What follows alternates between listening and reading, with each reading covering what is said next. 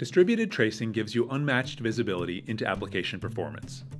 Traces show you which user did what, how quickly your application responded, and which services and calls were involved in fulfilling the request. But when you have hundreds of services or millions of users, you have to sift through a lot of data to zero in on the traces you care about. That's why we built Trace Search and Analytics, which provides global search for all of your traces using tags. With Trace Search, you can correlate your application data with the underlying infrastructure, application tags, and any custom tags that matter to your business. If a user reports an error, you can drill down to that user, that endpoint, and that error code to see exactly what happened.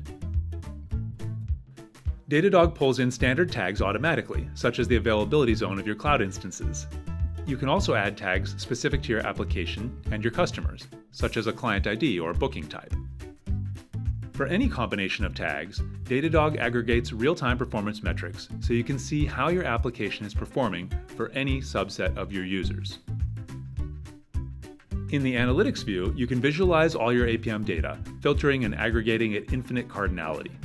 So you can graph the P90 latency per customer in a particular data center, or find the endpoints returning errors to the greatest number of users.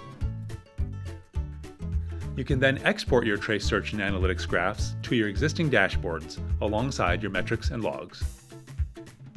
By putting tags at the center of APM, Trace Search and Analytics unifies the three pillars of observability metrics, traces, and logs. You can go from viewing global performance metrics to inspecting a specific customer's error via stack traces and logs in seconds, putting all the data you need for performance monitoring and troubleshooting right at your fingertips.